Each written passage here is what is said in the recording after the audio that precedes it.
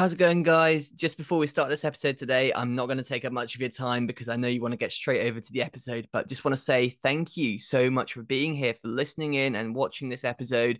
Whatever your platform you're on, it makes a massive difference that you're here. And I know you're going to come away from it with something really good and useful. Just want to say quickly, though, that over the last few years doing this podcast and building it up, we have really gone from zero to 100 in just the guest range, the editing, every element of it has just increased and all of it has really been down to the incredible subscriber base who have hit that subscribe button and supported me on this journey. And i'm going to ask you please if you could do the same today. Just hitting that subscribe button or that follow button whatever platform you're on makes a massive difference to the journey that i'm on with this podcast and truly every every subscriber contributes to getting a bigger and a better and a more famous guest on the show.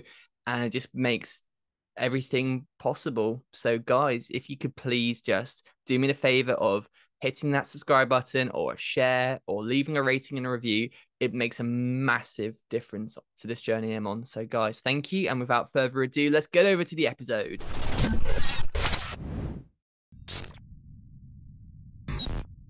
How's it going, guys? Welcome to episode 107 of Talk for the Quickfire podcast, where we ask four great questions to unique and interesting people. Behind the mic today is your host, Louis Skupien. And let me just introduce our incredible guest for today, Tim Parlatore, who's going to be answering a few questions today. Tim, how you doing today, man? And uh, welcome to the show. I'm good. I'm good. Thanks for having me. Yeah, I'm. Uh, I have to say, I mentioned it to you at the start of the, uh, you know, before we jumped on here. Super, super stoked to to have you on, and an industry I haven't touched on yet. So really keen to ask a few great questions here today. And before we jump into those questions, in kind of a thirty to sixty second ish sort of format, elevator pitch style, just quickly who you are, what your day job is, and just a little intro and kind of snapshot into your day to day job, if that's okay. Sure. Uh, Tim Parlatore, I'm the managing partner of uh, Parlatore Law Group. Uh, I have about 15 attorneys that work for me. It's a cloud based law firm, so built from the ground up with uh, all remote. Uh, and my personal specialty is criminal defense and civil litigation. Uh, yeah, I never really specialized in any one particular kind of case. I just specialize in high stakes litigation, you know, cases that are weird, uh, cases that are unique and uh, and difficult. And so, you know, wherever there's a big fight in a courtroom, that's that's where I like to be. Uh, yeah, I mean, looking at some of those past clients you've had, really, really top of the food chain in, t- in terms of big cases. So I feel like I'm talking to a, a, a proper legend from this space. But I always like to kind of take a look into the backstory of people first before we go into the current job. So, um, before you know, I feel like we'd be remiss not to talk a little bit about the Navy career and get an idea of kind of like where you came from and how you got into the industry you're in now. So, I understand you're a Navy guy. Can you kind of walk us through that part of your life a bit quickly and what you did there, and just kind of take us through to like the start of your legal career? How did it all come about for you? Sure. You know, and it's kind of a, you know, it is a full circle uh, for me. Everything did build on one another. So, you know, I started off my career in the Navy. Uh, I went to the U.S. Naval Academy undergrad, graduated class of 2002. Um, 9/11 happened when we were seniors. And so we were the first class since Vietnam to graduate during a time of war. Uh, 21 days after graduation, I got on a guided missile cruiser and went straight over to the war zone. Uh, I did two deployments on USS Normandy as a surface warfare officer. And, you know, the first deployment we were doing primarily, um, you know, air control and uh, strikes into Afghanistan and also, um, you know, oil embargo enforcement in the uh, Persian Gulf is pre-Iraq war. Uh, second deployment, we did a lot of um, counter piracy operations off of the coast of Somalia. Uh, and I left partway through that deployment uh, to come back because my time in the Navy was up. And so I went back and showed up at law school um, and started at Brooklyn Law. And so that was really the transition. Uh, it was kind of a, a quick uh, transition. I showed up in law school. I sat down in the auditorium and, you know, the dean is welcoming us to law school and saying, you know, the, law school is very different from college. This is this is not like what you're used to. this next year will be the most stressful experience of your lives. And I just sat there and I looked around the room and I realized every single kid in this auditorium actually believed what she said, but I did not. And you know, and it wasn't. It, wasn't. You know, compared to deployments and everything, it wasn't. Um, yeah, I did my time in law school. Um, I worked pretty much full time uh, for a for a lawyer for criminal defense attorney Eddie Hayes while I was there, um, and you know got into a lot of great cases. You know there and really learned you know on the streets how the criminal justice system works. Uh, went from there to uh, to another job working for a solo practitioner, um, and you know got to work with a lot of these real legends of the criminal defense bar in New York City. You know, I got to I got to spend time and learn how to practice law from all of the greats who tried the John Gotti trials, for example. You know, all the great mob trials back in the 80s. Uh, you know, these were my mentors. And so, you know, Ron Fischetti, Bruce Cutler, um, Eddie Hayes, Jeff Jeff Hoffman, uh, George Santangelo, all of these you know men are the ones that really taught me how to practice. Mm. Uh, so I eventually went out on my own, uh, formed my own practice. Um, I did that for a few years. I, I, partnered actually with Bruce Cutler for a couple of years. He was John Gotti's main attorney. Uh, and then went back out on my own and then eventually uh, joined a bigger firm um, and kind of took my skills that I'd learned doing a lot of this, you know, organized crime and, you know, all form of, you know, various, you know, criminal activity and took it to a bigger firm. I did that for about three years to get into more white collar stuff uh, before leaving that to, to start my own. Interesting. Um, what was the what was the spark for you then in that industry that kind of got you to at least piqued your interest in going in that direction? Because you know, from the people I've spoken to in the military and the guys who've got out the military, seems like the kind of at least like the flow that they tend to go down initially coming out of the military tends to be the private sector and defense and security and consulting so what was the kind of the motion there and what was the what was the motivation for you going in, into the law stuff has that always been something that's really been interesting to you uh, yeah talk me through that so when i was at the academy um, my goal was to spend an entire career in the navy or, or really the marine corps was what I was thinking about at the time. I was I spent the first two years there really focusing on trying to become a Marine Corps infantry officer. Uh, and two things happened to really change my my perspective on that. Uh, one was you know the summer before senior year, uh, we we spent the summer down in Quantico, Virginia, um, doing training with the Marine Corps. Um, you know, assaulting villages, doing all this, uh, you know, great training. And I learned that as a Marine infantry officer, I would be mediocre. You know, I, I wasn't going to be the best. I, I could do the job. I think I could do it well, but I was not going to be the best at it. Um, and this, of course, still pre 9 11. Um, and so that happened. And then, pretty much simultaneous to that, my best friend got in trouble um, Dan. He it, it was a practical joke that had gotten totally out of control, and it had you know gone from something that really should have been just a silly little joke to where he was facing being separated from the Naval Academy and his naval career being done. Wow! Before it even. Um, and so he came to me and he said, you know, Tim, what can I do? Uh, and so we just sat there, and I was very good at regulations. And so we just sat there, went through the regulations, and figured out why it didn't fit into what he was charged with, but why it did fit into something of a much lower severity. And I said, okay, so this is what you need to say. You, you need to say, I didn't do this, but I did do this.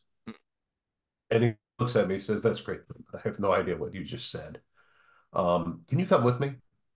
So we went up and to meet with the um, with the commandant's uh, staff judge advocate, uh, which is a military lawyer, and we walk in and he he's looking at us like, you know, what the hell are these two kids doing? And Dan says, you know, sir, I wanted to speak to you about my case, um, present something for the admiral to consider. And he says, okay, well, what's he here for? He's like, well, I don't know how to explain it, so I need him to explain it for me.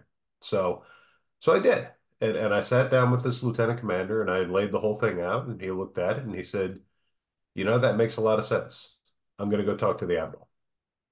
He does. The admiral agrees.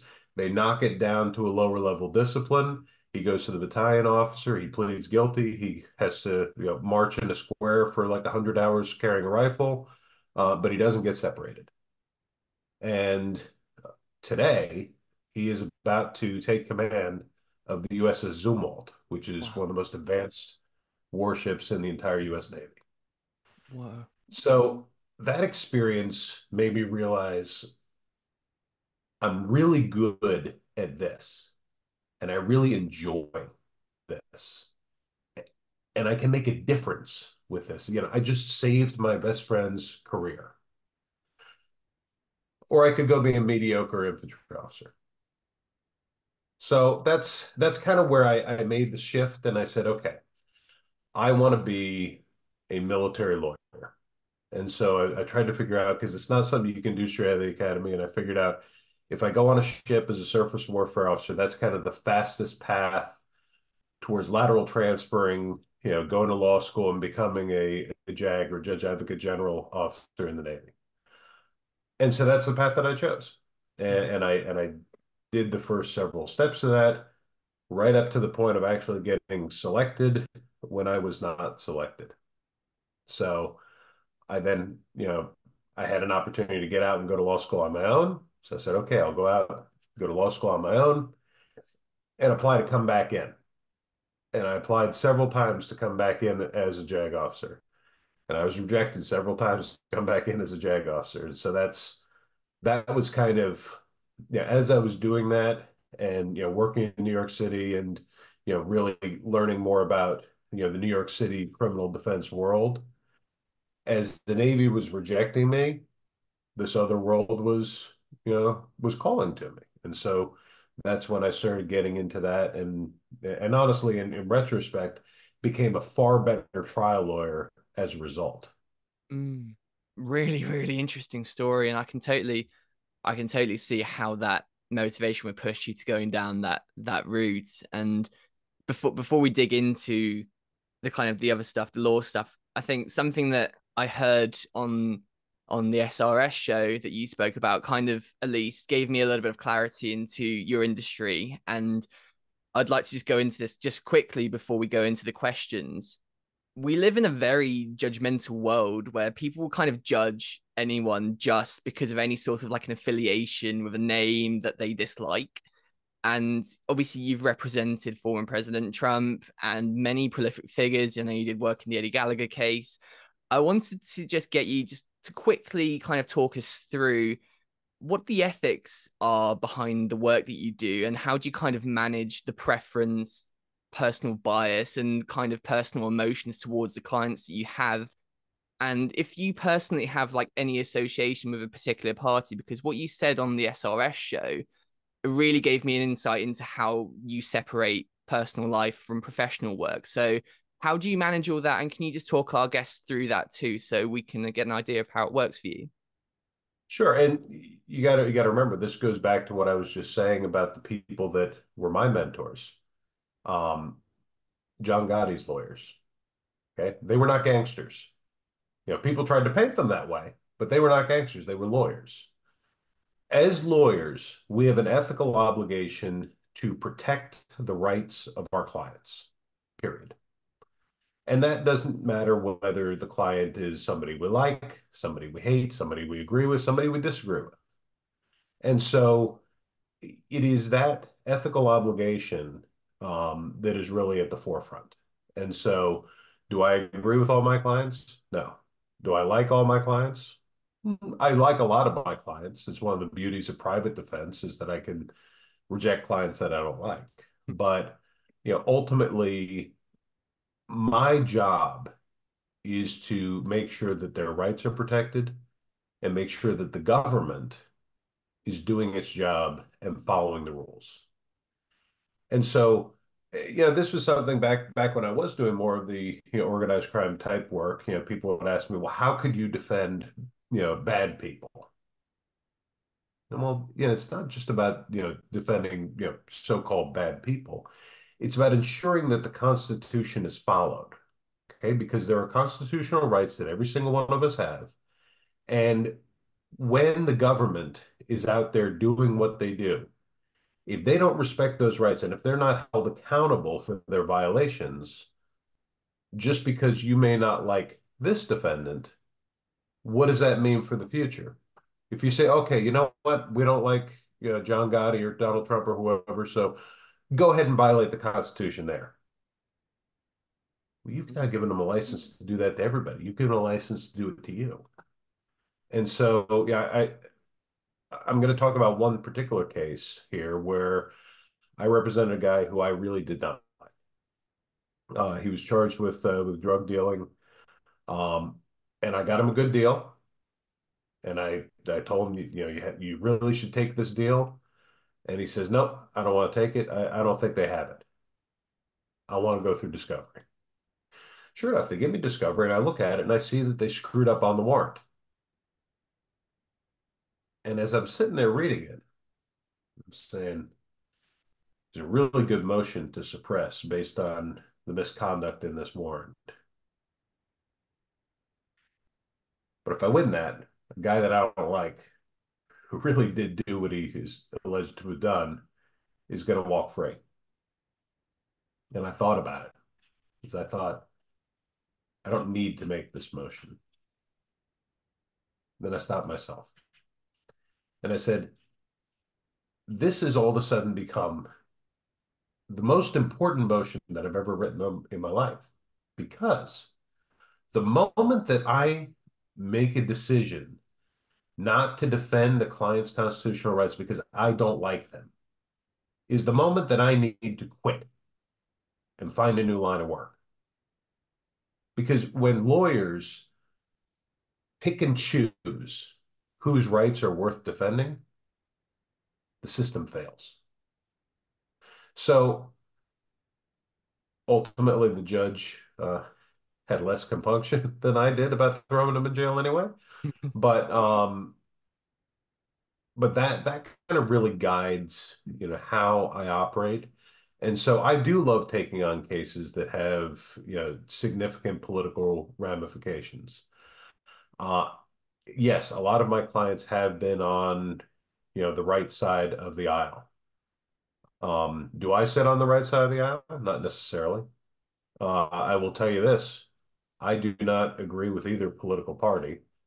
And so, you know, therefore I don't take a position on that kind of stuff. You know, when it comes to, you know, for example, representing President Trump, and and I still do a lot of TV interviews where people ask me about the case, and I'm very clear that I'm the lawyer. I have nothing to do with the campaign. My job is to talk about whether he should go to jail. Whether he should go to the Oval Office is somebody else's topic to talk about, not mine. And so, therefore, I am comfortable. I've represented people on both sides of the political aisle, and I'm very comfortable with that. If Hunter Biden or you know Bob Menendez called me tomorrow, I would happily talk to them as well. So I mean that, and that's that's the philosophy that I put down through my firm. And you know, my firm is very diverse.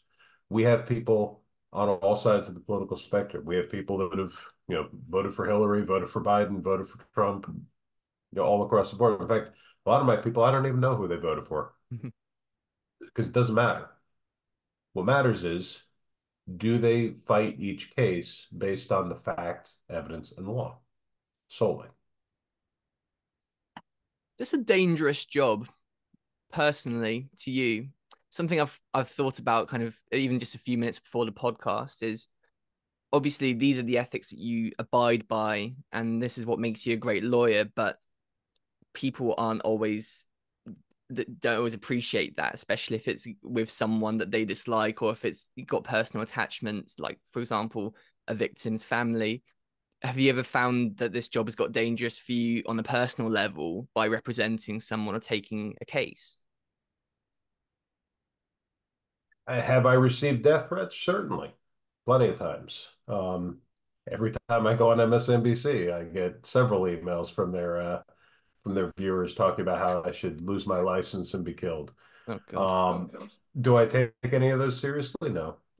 You know, I think that, you know, they're one of the drawbacks of, you know, social media and the connectiveness of the world is now that everybody, you know, feels like they have a voice. And so you have a lot of, you know, what I call keyboard commandos who are perfectly consent content to sit there in their apartment and, you know, type a message uh, yeah, to me, but know, are they going to actually walk up to me on the street? No, they're not. Um, you know, I, yeah, I will say say this. You know, you asked me about my political affiliations. Um, you know, I am a supporter of the Second Amendment.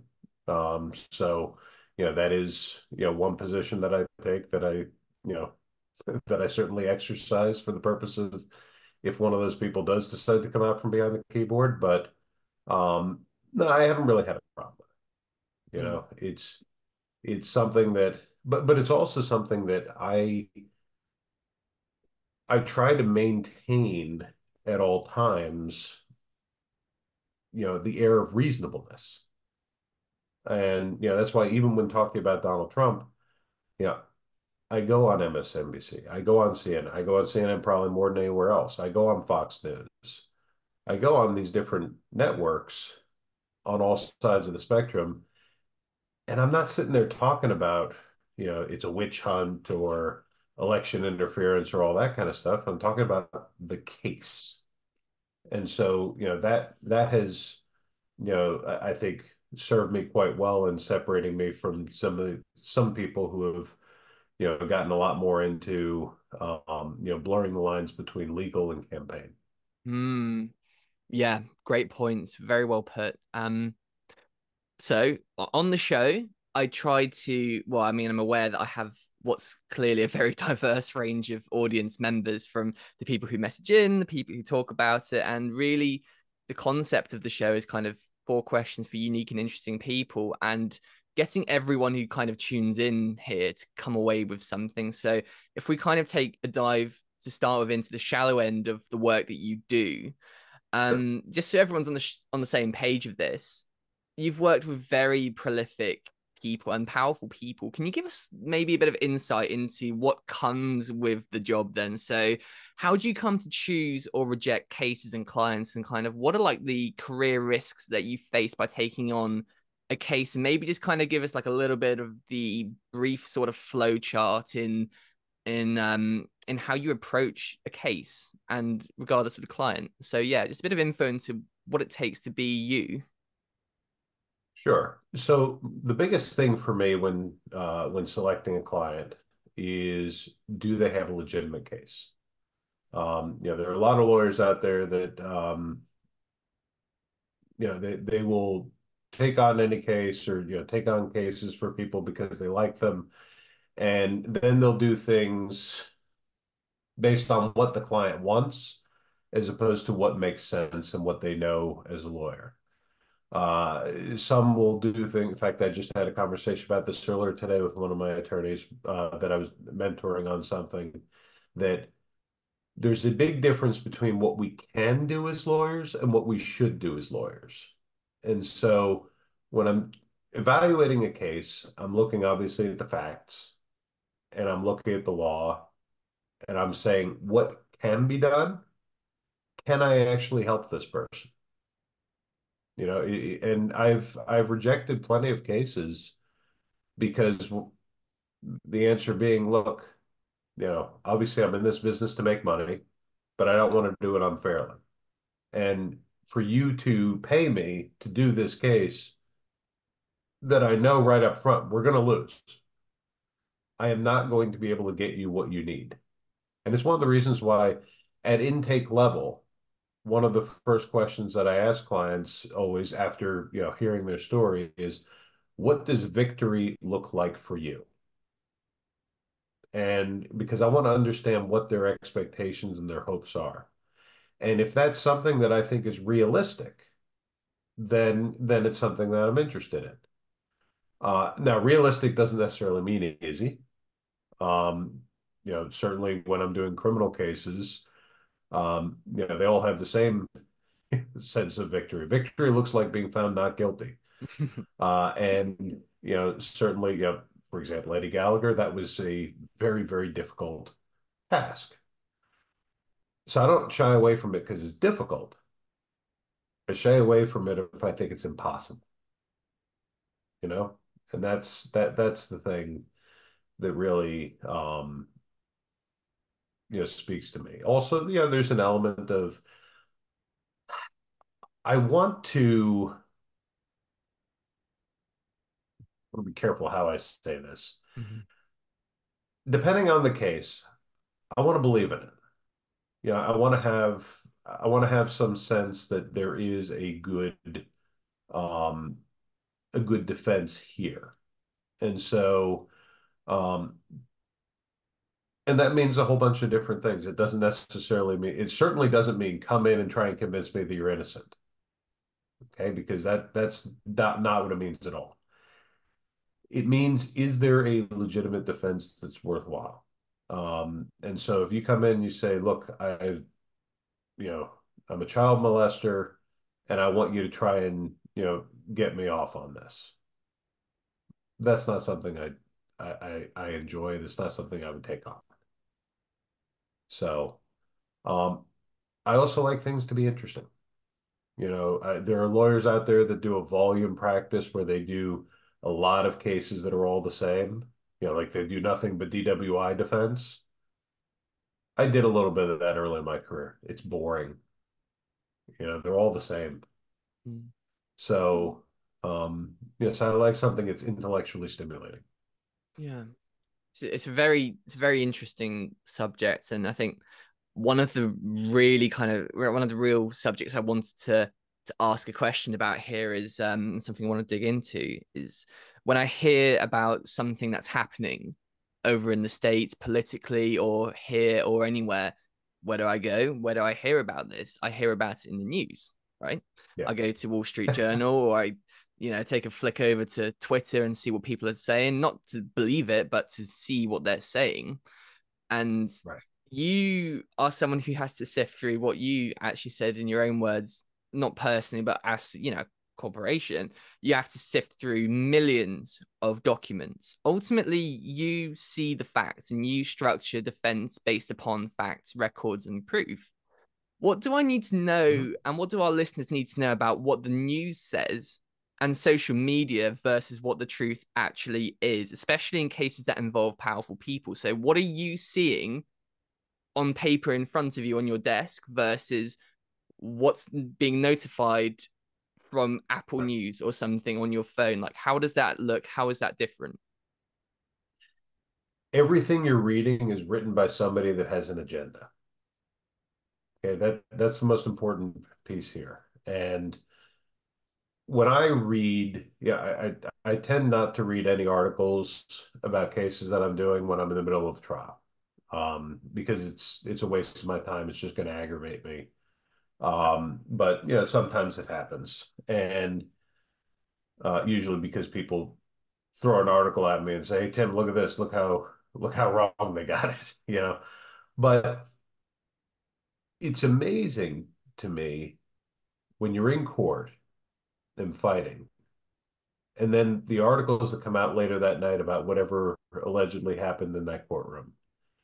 Depending on the publication, depending on their personal agenda, you'll hear something totally different from what actually happened. And it's not that they it's not that they're fabricating.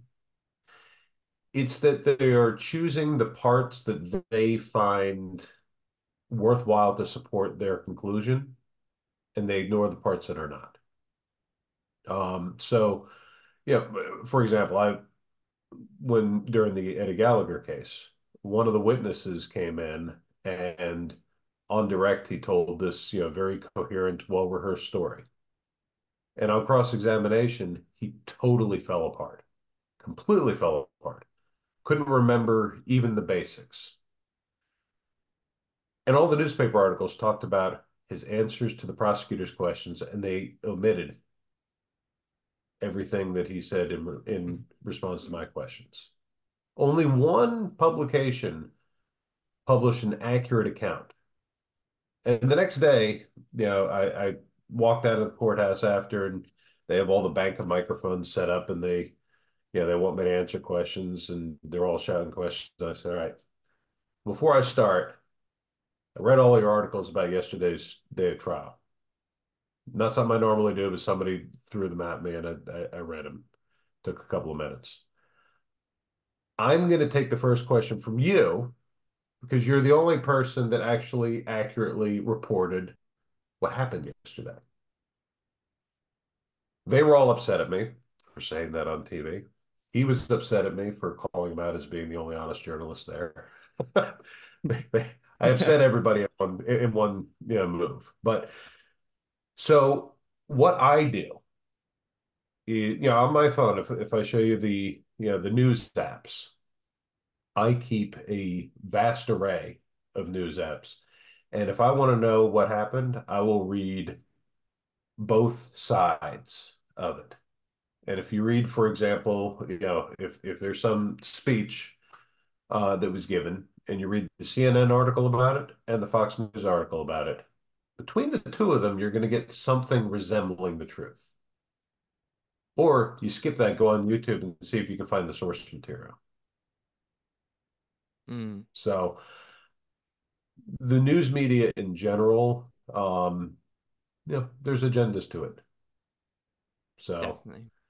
So, so you have to be very careful with with reading any of that stuff. And yeah, and it's something that I deal with a lot with, you know, when I'm called on a case because you know this this happens all the time where something will happen on the news and my wife will look at me and she'll say, That guy's gonna call you in the next 24 hours. And whenever she says that, they usually do. Um, but what you've heard in the news versus the story they actually tell you are usually very different. It's interesting, isn't it, how these things can change. And this is exactly why I wanted to dig into it with you quite a bit. And you're right, you do need to listen to both sides of the story, and you can probably find like most things have an element of the correct truth in there, and then you have to kind of draw like the parallels between a few sources, and then, like you said, go find the source material because when it gets recycled enough, the narrative changes, doesn't it? It, it does, and and here's the other thing: is that when when a publication takes a position on something, they don't like to admit that they were wrong.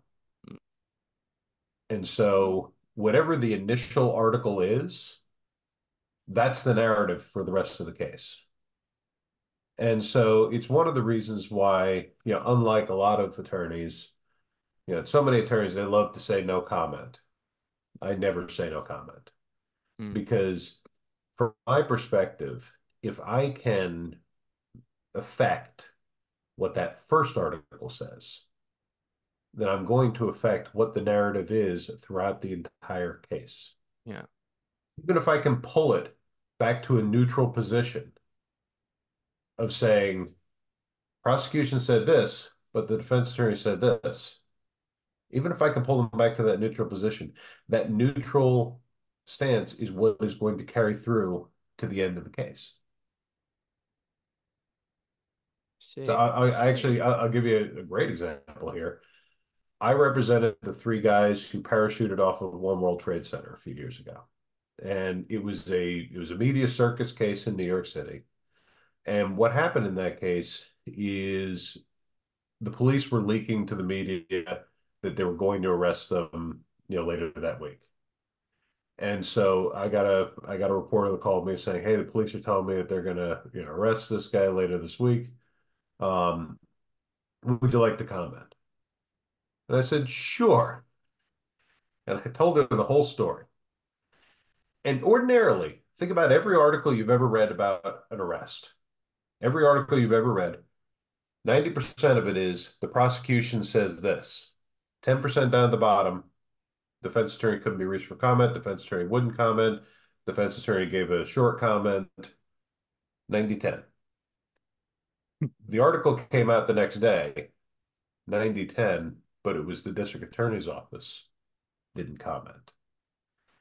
And so we went into that trial where the the media narrative had been set that these guys were folk heroes. and everybody loved what they did. And you know, we put the video on YouTube, the helmet cam video. And so they were at such a disadvantage because when we got into that courtroom, everybody, the public, the media, the jury pool, they were all in favor of my guys. Nice. And, and we got a not guilty verdict. Cool. I mean, that's pretty cool that they would jump off that though. that must have been a oh, fun oh, yeah. case to work with. They must have been a, a pretty crazy bunch of guys, right? oh, they were great. They were great. It was it was one of the funniest cases I've ever tried. And uh, in front of the same judge who has the Trump um, you know uh, case in Manhattan now. Um, it was an incredibly funny case. Yeah, I had the witnesses laughing. I had the judge laughing at one point. The jury was laughing throughout. It was a great case. Have you um? Okay, so the kind of last two parts of the podcast tend to be actionable stuff for people and everything. But kind of while we're on the subject now, have you got any funny stories, man? Have, have you got, have you got a like a, a crack up story from one of these cases that you just think you know what? That was just that required a different kind of approach. That worked out in a hilarious way. Any any stories from your time there that's going to give our listeners a little bit of a, a chuckle before we go into actionable stuff? Sure. Well okay. Good example is that base jumper case. So these there was no question they did it okay they broke in the building they climbed to the top they jumped off with parachutes they totally did it um they were guilty of misdemeanors, trespassing, of base jumping. But what the district attorney tried to do is they tried to charge him with burglary, which in, in New York state law, burglary is unlawfully entering or remaining in a structure with intent to commit a crime therein. Yeah, they unlawfully entered or remained. That's that's trespassing with intent to commit a crime. Base jumping is is also a crime. So they figured, hey, We'll take two misdemeanors, wrap them up into a felony that has seven years in jail. Except intend to commit a crime therein. Therein means inside the building. Base jumping by its very nature is there out. It's outside the building. And so I turned this two week trial, which really just turns on the question of is the roof inside or outside of the building? I turned it completely around on them and just tortured the government for it because you know they brought in all these detectives to show you know we have this you know multi-billion dollar ring of steel security system with security cameras everywhere and here's where they landed and here's where they ran and here's where they got in the car and then we have license plate readers and so we we read all the license plates and that's how we found them detective how many of those cameras are facing in well none you don't have any video of them getting in the building, do you? No. Well, wouldn't that be important to you to know how they got into the building? Well, yeah, it would. So number one terrorist target in the world, right? Yes. Well, what did you do to try and find out how they got the building? Well, we couldn't really do anything. So you spent all this time trying to find them after they left. Wouldn't a security system be more effective at keeping people out? Well, yeah. And we set the theme with that. And the, the prosecution just kept getting stupider and stupider with it. And the jury kept getting more and more offended by it. And they put this guy on, this detective who had recovered my client's logbook. And so he's reading from the logbook that the, the prosecutor wanted him to read from any entry that sounded dangerous. Um, by the way, they're all dangerous, it's base jumping. But and so he's I've known know, a few. This, I've had a few on the show. They're crazy. right. On this date, water landing, this date, tree landing, you know, this one, parachute landing fall. Uh, this one, post came out. And so I'm just going through each one of them with him. Like, what does that mean? What does tree landing mean? Well, I guess they landed in the trees. Was that what was intended? Well, I don't know. So is it a mishap? Well, I don't know. This one, parachute landing fall. Do you know what that means? No, I don't. I guess it means he fell. Well, isn't it a landing technique? I don't know. It is a landing technique. Uh, in fact, it's the first landing technique you learned in airborne school. Um, post came out. What does that mean? Well, I don't know. Well, what's a post? I don't know. Was it part of the skydiving rig? I don't know. Is it part of the building? I don't know. Over there, see in the front row? That reporter over there from the New York Post. Was it her? Did the New York Post send somebody out? And he starts laughing. He's like, ah, Castle, I don't think that was it. That is what it is. the New York Post did come out. And then, you know, so we, we went through all these things, and I finally turned look. Wait a minute. Several of those entries in there, it says location Waldo, right? Says yes. Detective,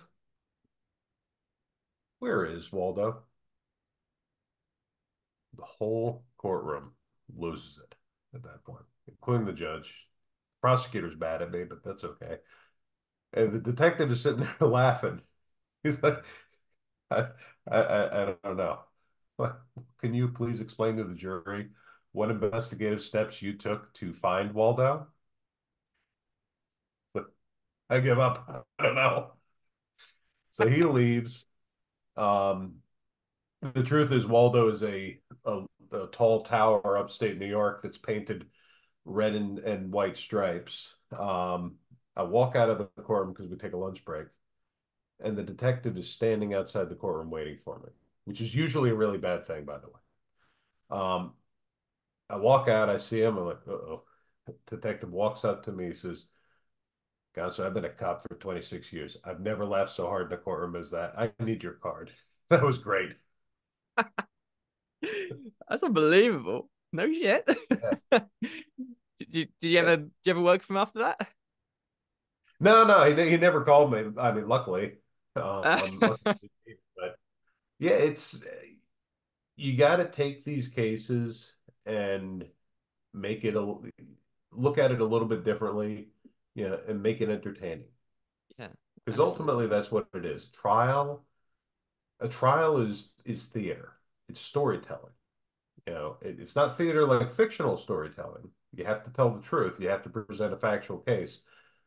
But if you can keep the jury engaged and keep them interested and build trust, then they will vote. You know, they, they will consider all of your arguments and they'll vote more likely in your favor. If you sit there like a stone the whole time and just read from your binder and lecture them, they're not going to take you as seriously. Yeah. Yeah, really, really interesting. Thanks for uh thanks for sharing that. That's that's great. I mean, you've you've clearly uh you clearly got your job down to a T. Um, as I mentioned, we kind of go into like a bit of a, an actionable stage of the podcast towards the end, where we can actually everyone can take a little something away from it. Obviously, we've had a good chuckle at the stories, and we uh, we've probably got a good insight into now what you do and how it works. But read us our read us our rights. So as someone listening in right now, or me as the host, just everyone in general, you know, I'm no legal head at all. I doubt many people listening in probably are, but I think we have like a very, very bare bone probably idea of like what our rights are as people. So, what's like the basic handbook, would you say, of like rights and bare bone legal personal protection stuff that everyone needs to know? As like, okay, this is the chock block. This is what you need to know. You need to know this you need to know this, you need to know this for that essentially going into the future where nowadays, as we've seen in your career, you know, with the Dallas Alexander case and everything, and just censorship, freedom of speech, it's threatened. And the state of the world seems to just be changing like the wind. So if you could kind of give everyone like a little pocketbook of what everyone needs to know, what would you say are kind of like those top few things in terms of legal protection and stuff that people should should have an idea about? So I mean, the big thing is, you know, it's all it's all in the Bill of Rights to the Constitution. If you, if you read those amendments, for the most part, that's going to tell you most of of what you need to know. Um, you know, the First Amendment, you know, the Second Amendment, the Third Amendment, you don't really have to spend as much time on. Um, I I like to tease other lawyers about, you know, do you think there are any Third Amendment implications here? And everybody's always staring at me because everybody totally forgets what the Third Amendment is. And it's it is, you know, about the quartering of troops. that we should that you should not be forced to quarter troops in your house. Um, but aside from that one, you know, fourth, fifth, sixth are the ones that I deal with, you know, the most. Um, but to put it even more simply, uh, and, and you actually said it right in the beginning, you said, read us our rights. Um, it's exactly what the Miranda warnings say, but take it seriously. You have the right to remain silent. Shut up. Don't talk. Okay, there is nothing you can say that's going to help you. You're being read your Miranda rights because you are under custodial interrogation. Okay, you're not free to leave. And they want you to say something that's incriminating. They're not giving you an opportunity to talk your way out of it. There is nothing to be gained from speaking. You have you, anything you say can and will be used against you. That's true. You have the right to an attorney. Yes, exercise that. If you're really worried about, you know, and cops love to do the whole, you know, well, if you have nothing to hide, why would you, why wouldn't you talk to us? If you're really worried about that, which by the way, you know, that's a trick. If you're really worried about it, just say, look, I'd love to help you guys. But unfortunately, I've, I've read too many other stories and, and things I'd feel more comfortable talking to you if I had an attorney. If you really want, just say that. And then the attorney can come in and say, come on, guys, you're not talking to him. Get out of here. You know? And so, I mean, that, but that's the big thing is exercise your right to remain silent, exercise your right to an attorney, and get the best attorney that you can. Attorneys are one of those things where the quality why varies widely um, with certain exceptions, attorneys really are one of those things where you get what you pay for. Um, you know, if you're paying a very low rate for an attorney, you have to wonder why. Is it because that attorney, you know, is desperate for work? Is it because they run a volume practice where they charge much more reasonable rate because they have, you know, so many cases um, you know, do they take, you know, you could take 10, 10 cases on at a time for one price, or you could take 100 cases on for much less, but then you only spend a tenth of the time. Um, then I say, like, like I said, there are certain exceptions to that. Um, but that's that's the basics of it. Okay. So, you know, I hope I don't ruffle any feathers with this question at all. Uh, it's just I'm gonna put at least what I believe is a common belief out to you okay. and see what you make of it. And at least maybe maybe it's not common. I don't know. This is my this is my understanding of like the thing as someone who doesn't really know too much on the subject. But from what I've kind of heard, what I've seen, either kind of like in joking situations or whatever with friends and everything, it kind of sounds a little bit like when you come into law and courtrooms and lawyers and stuff when you have someone who's very rich or powerful or corporations that are rich, powerful, they have legal teams which are at least described as very strong. And mm-hmm. if you're someone like myself or something who can't have or like doesn't have deep pockets to you know fish out for very expensive lawyers, um, it doesn't sound like you're going to get very far with, with that. You're going to get basically whitewashed out of uh, you know out of the out of the courtroom so i guess what i kind of want to get a little bit of clarity on is for everyone listening is to some degree is like kind of going off what you just said there is it slightly pay is it slightly pay to play when you come into are, are there two systems of justice in this country? The answer is yes. Yeah. There are two systems of justice. Um i i don't the two systems of justice are not purely based on you know racial disparity.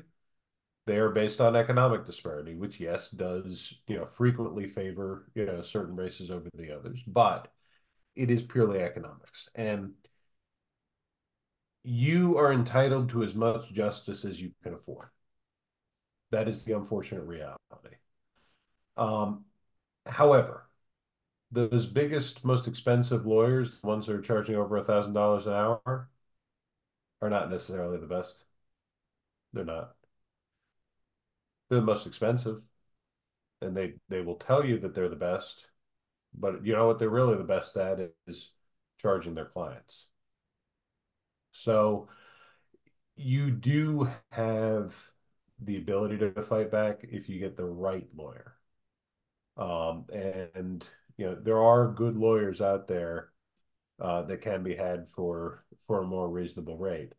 Um, but to go up against one of these monolithic, you know, AmLaw 100 firms, I love beating up those guys.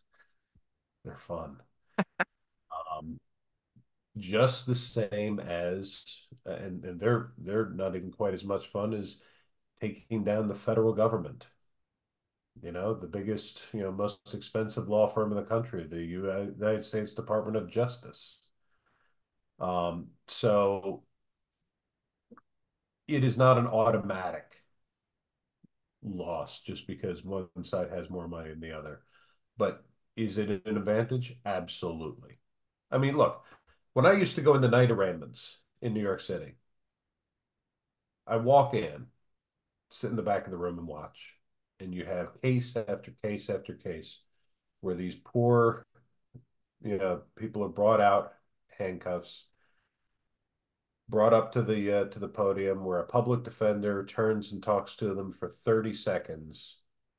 Public defender is sitting there with a wrinkled suit, black sneakers instead of you know regular dress shoes, crooked tie, turns to the judge and says he'd like to plead guilty. And you see the cycle of that all night long. And then they call my client. And that public defender steps to the side, and I walk up, pinstripe suit, you know, cowboy boots, you know, pocket square, everything arranged. And you know what the judge does as soon as I walk into the courtroom? Sits up straight. He starts paying attention. Because here is, you know, a case that's going to be a little bit different than the others. Yes, there are two systems of justice. And when I, you know, when, when somebody like me walks into the room, the judges and the prosecutors, you know, they they take notice. So, yeah, that's true.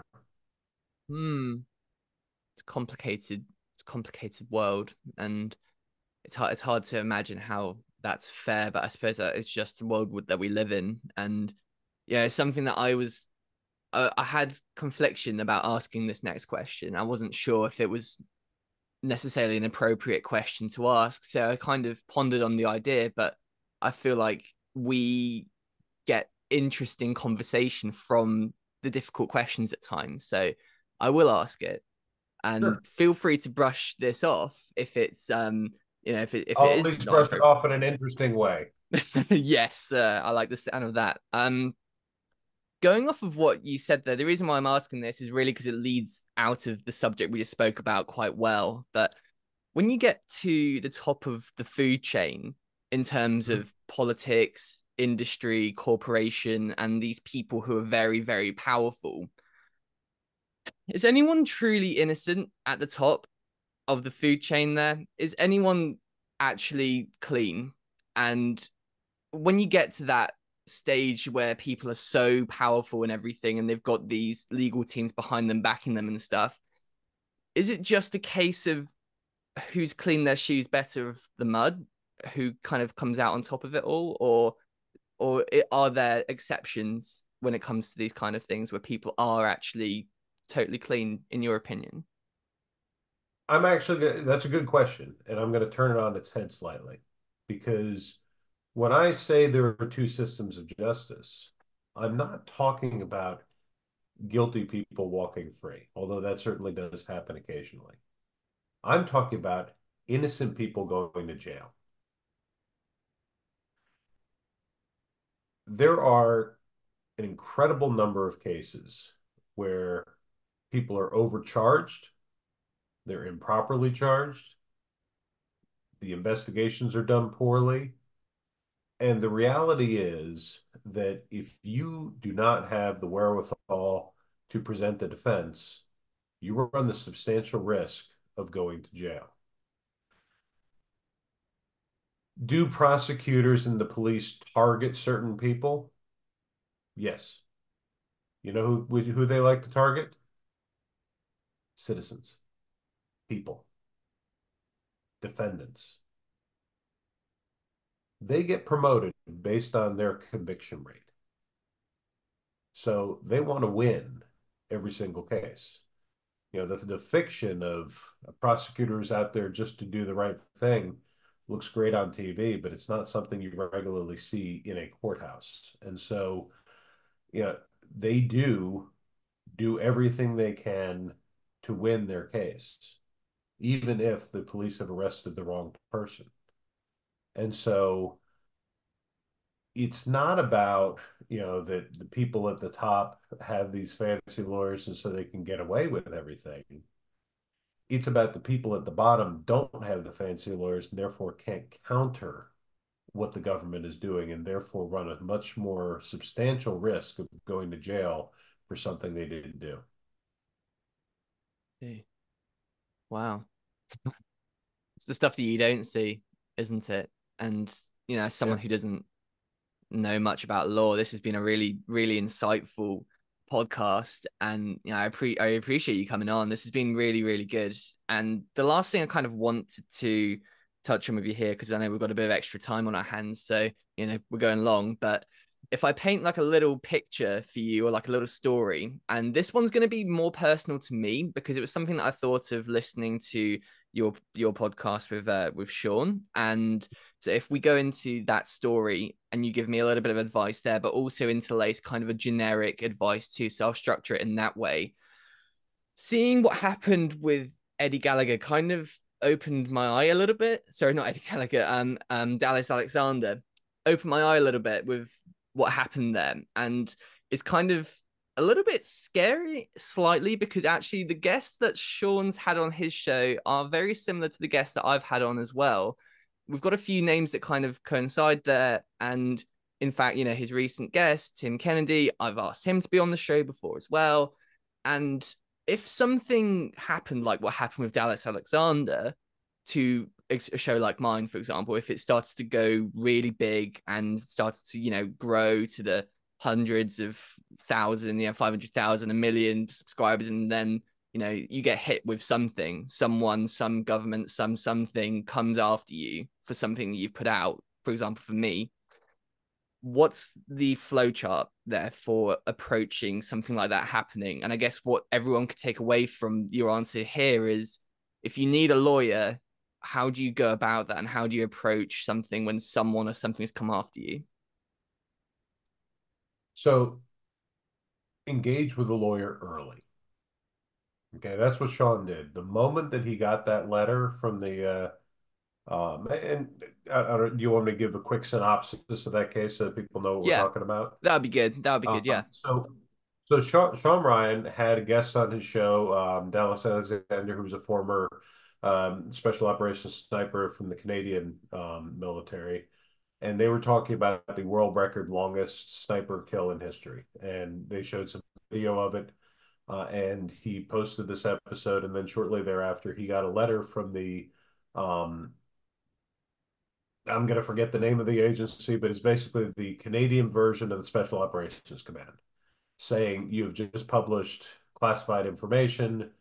You know, take take it down. You're risking. You know, we, we can come after you for all these things, and um, and so terrifying letter.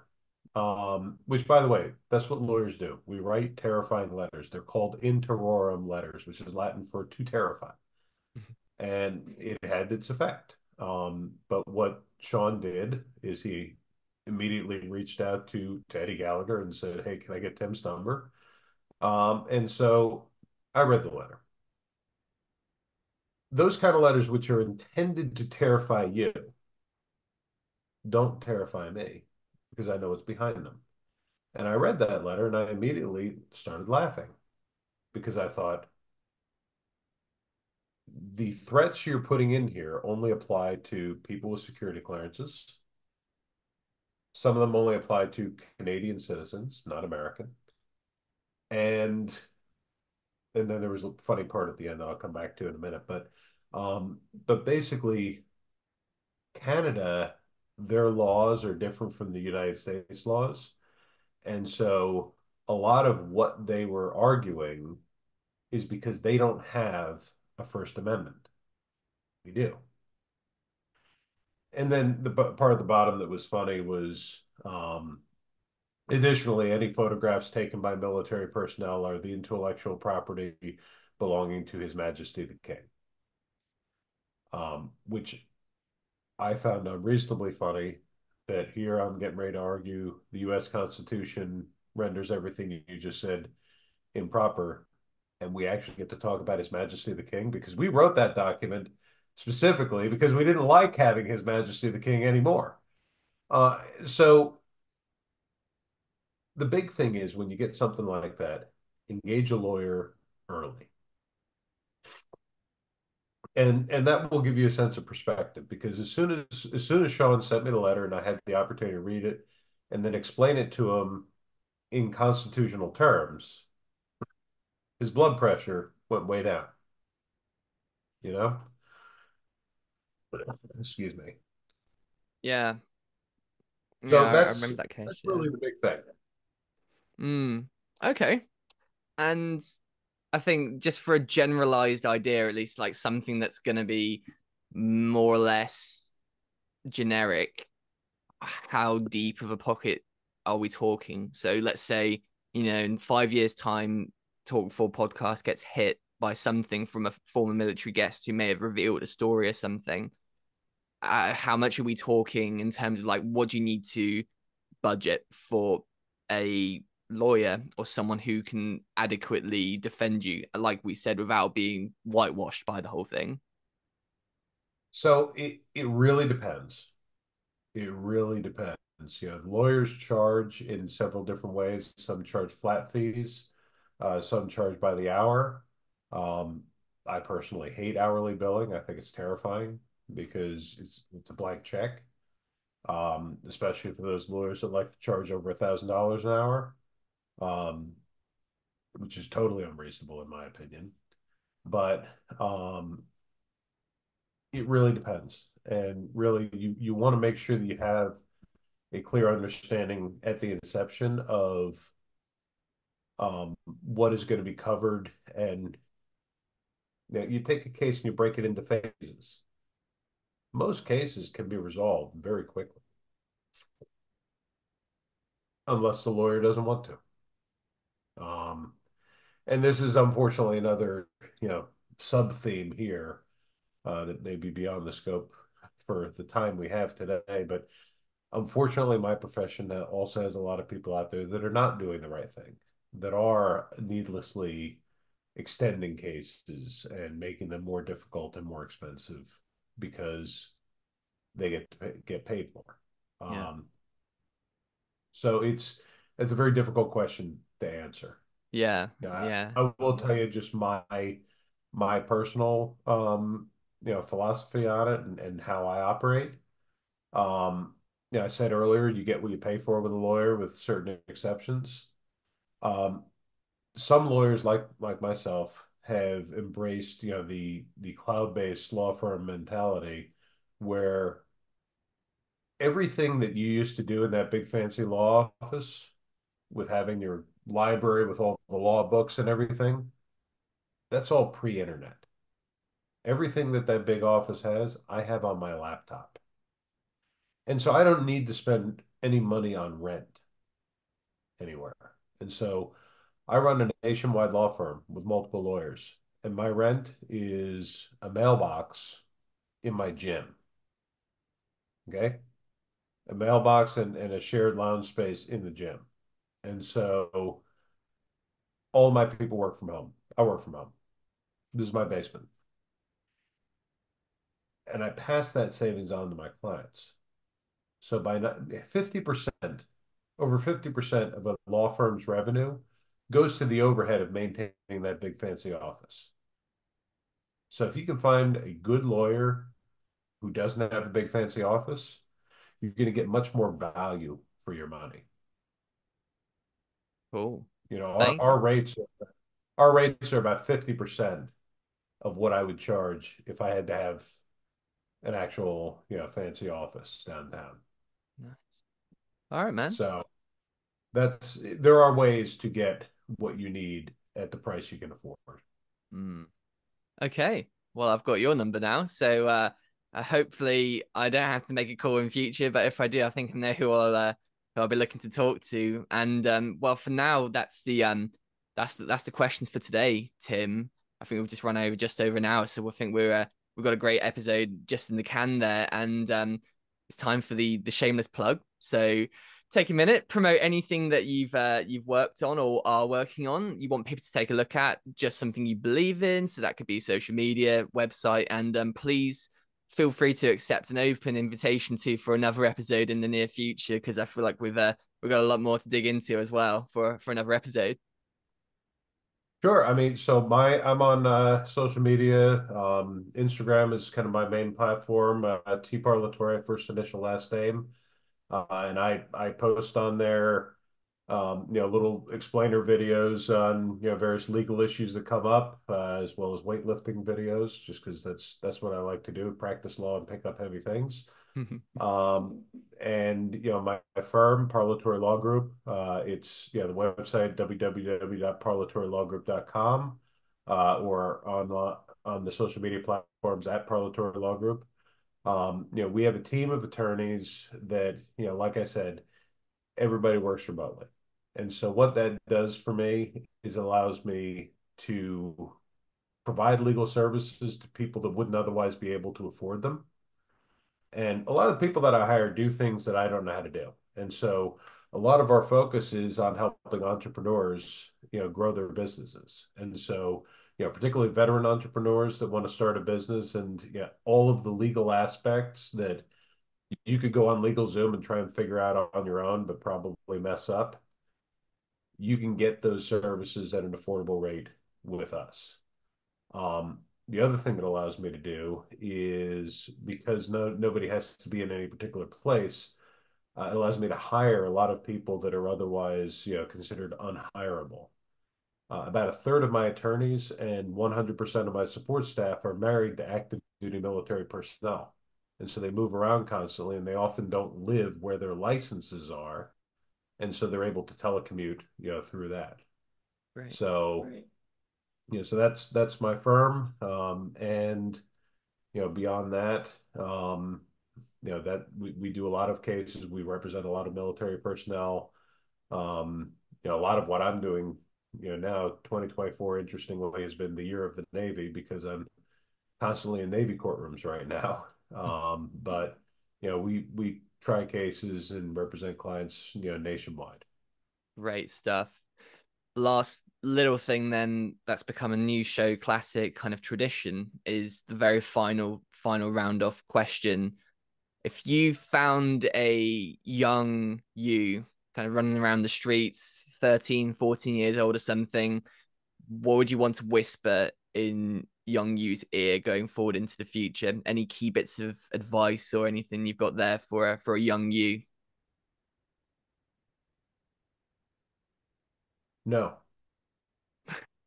I don't, because everything that I've built has been through discovery and overcoming adversity. And so there's nothing that I regret that I that I'd say, oh, I wish I could go back and tell younger me, um, you know, do this differently, do that differently, because everything has been built upon learning through those adverse experiences. Great stuff. Tim, thank you so much for joining me today for the Talk4 podcast. It's been an absolute pleasure having you on, man. All right. Thank you thank you guys for listening too. This was episode 107. If you'd like to listen to the past episodes, go and have a look at the channel.